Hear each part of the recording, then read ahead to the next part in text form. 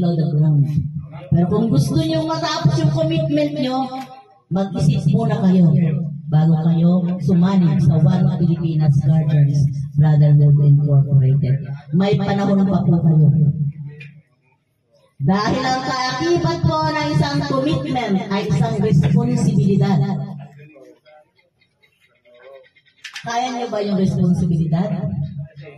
Hindi lang ho pagdadal, pag, pag, pagdalo sa isang pagpupulong, hindi lang pagdalo sa mga programa na itataguyod ng kapatiran, kundi magastos po. Kaya niyo gumastos? Kaya niyo gumastos? Pagbayad ng butaw? Lahat-lahat. Dito, wala po kayong kikitain. Gagastos kayo. Kaya nyo? Mag-isip muna kayo. Pwede pa kayong mag-back out. Ha? Dahil dito po, hindi lamang po regis, uh, membership registration na gagastos ninyo. Magbabayad kayo ng butaw. Gagastos kayo sa uniform ninyo. Magbabayad ng butaw mula sa national hanggang doon sa inyong local chapter.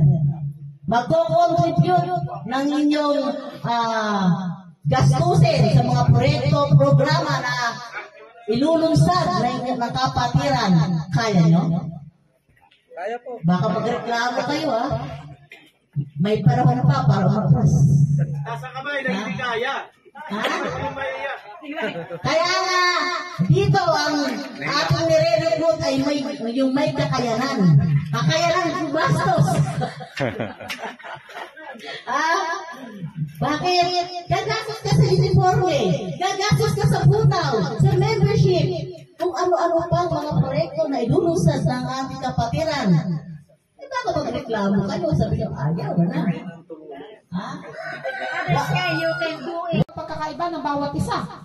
Ngayon, pa, paano ako magbibigay ng, ng aking salubin kung gayong hindi ko naman ito na ika nga nai-apply pa sa sarili di ba? Kaya kayo ay magalak, pare-parehas tayo at sabay-sabay tayo na